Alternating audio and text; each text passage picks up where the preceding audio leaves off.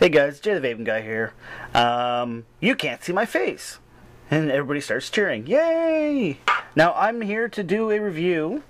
Uh, I'm not doing a review on a particular device. Uh, I'm actually going to do a review on kind of a how-to um, how to rebuild one of these. Now you'll notice this is all crimped up and you'll notice that's sitting there because I've already done this once and it didn't work because I don't have the right tools because I've never had the right tools because let's be honest 90% of us at home do not have the right tools so why show you how to do it with all the right tools when I'll show you how I do it how I regularly do it and how most people regularly do it so start off with your wire. Now, normally it's a lot more pristine than this, but like I said, I've already done this once.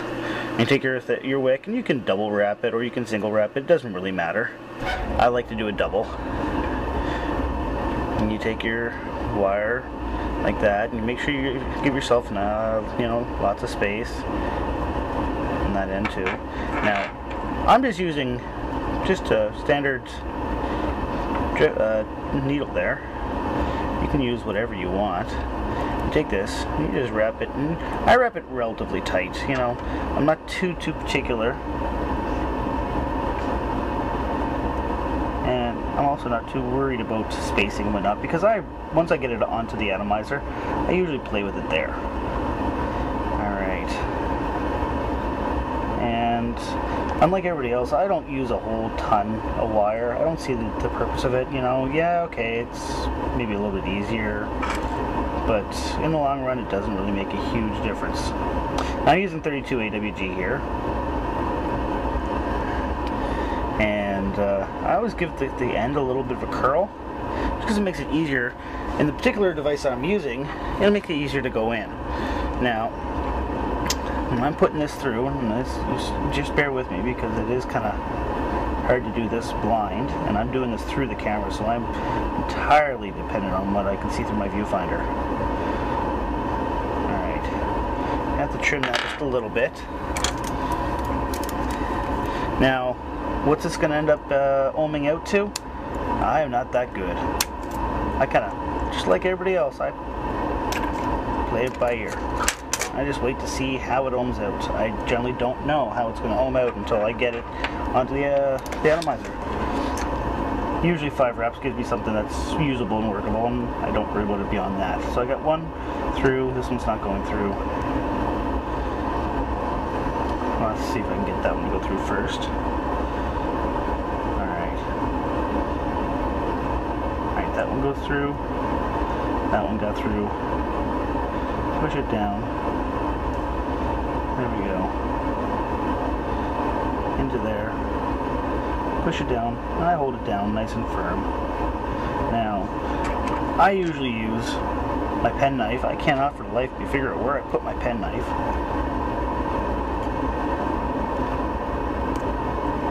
So I'm just using a regular... That's not working, so let's see. Maybe this will work. Yeah, there we go. Huh, figure that screwdriver to screw in a screw. Who'd have thunk it? Alright. Let's just get that in there.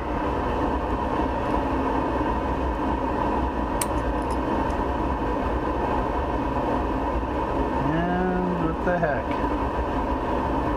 Alright. This one here's playing games with me and I don't have the energy to play with it back, so what I'm going to do is I'm going to do this the other way. There's two ways you can put this in. You can string it through or you can string it down. So, so I'm going to take my wick, jam it up a little bit better. I'm going to cut it really short, so just bear with me while I take this off camera. And very quickly, cut it down. See if that's cut down far enough. Yeah, that is. Alright, so... No, not quite. It looked like it might have been, but it wasn't. So, cut down just another hair.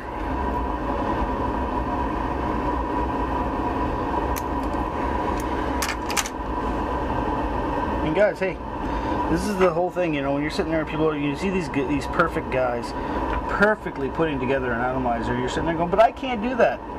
This is how you're doing it. Nine times out of ten, there's a good chance you're doing it the exact same way that I'm doing it. Just frigging around with it, trying desperately to get it to work. And that's what the average person does. I'm just like you guys when it comes to building these things. They don't like me sometimes, sometimes they just don't want to work right. So you just gotta do what you gotta do, you gotta work at it until it until it does. And this is really being a pain. I've never had this much prob- trouble. But then again, I'm also doing this half blind through a monitor. So my sense of judgment is a little, judgment uh, distance and whatnot is a little bit off. There we go. That's nice and firm. Go over on this side. Push that down. Make sure it's nice and firmly seated.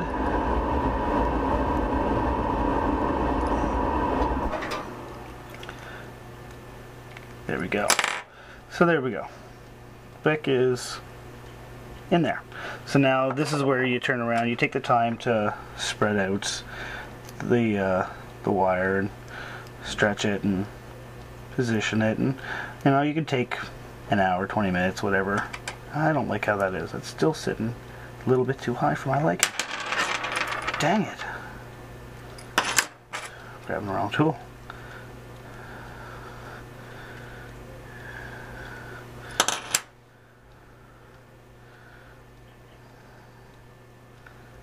There we go.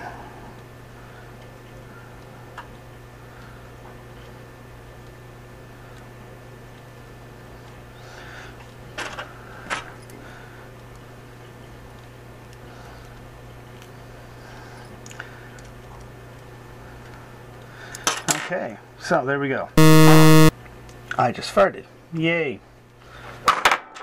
And I'm knocking everything over.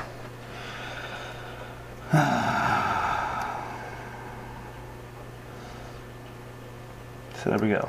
One, two, three, four, five. You know, nice. And what I usually do is I'll take my skizzers, figure out how far down I need to go. Because I don't go all the way to the bottom, I just need enough to have it go. And usually, you know, within maybe third of an inch, half an inch, clean it up. So that when it goes down, stays well, when it goes down it stays you know just above the threading.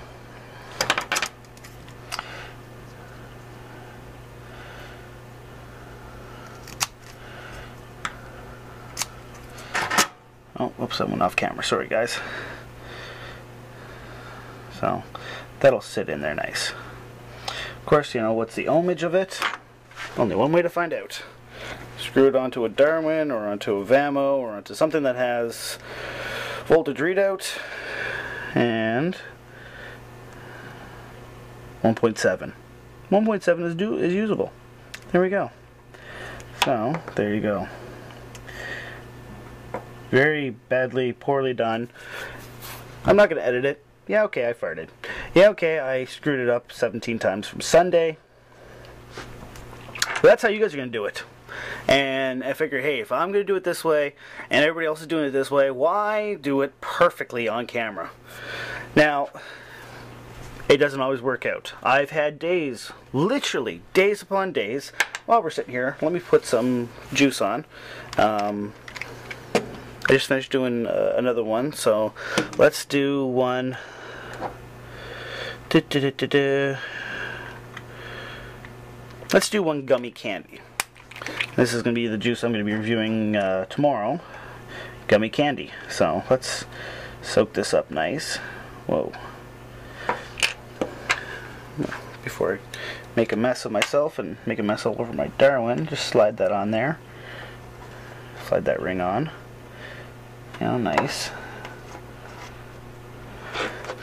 Um, but yeah, like you know what? People are normal. People do things the way that people normally do things, you know, and and and we're not perfect, so why pretend or why act as if we are? So we'll just put some juice in there.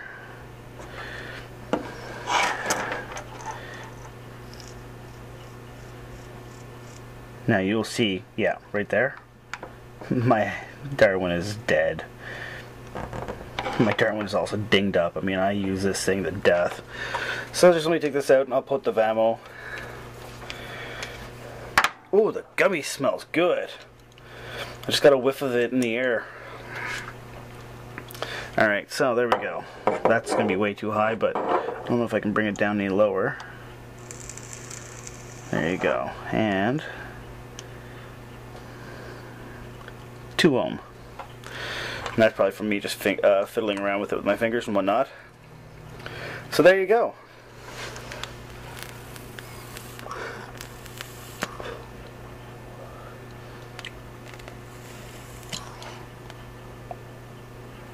There you go. There's uh, there's how you rebuild one of these uh, V3s. I have no idea, a Phoenix V3 or something like that.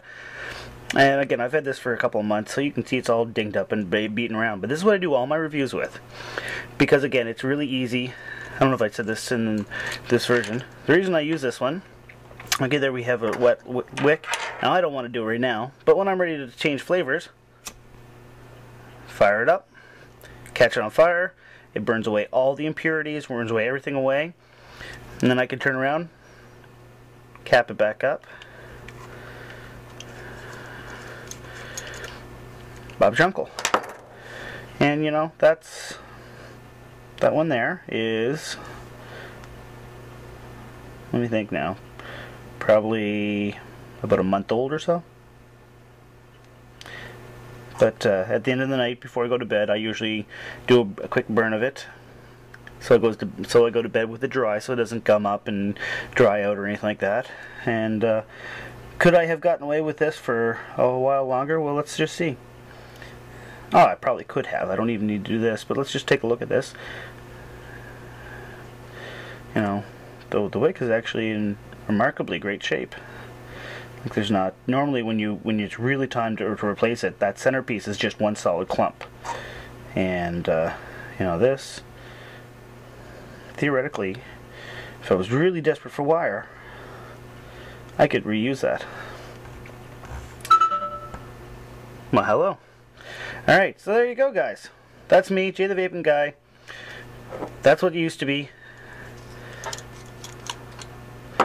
Is what we got now. Cheers.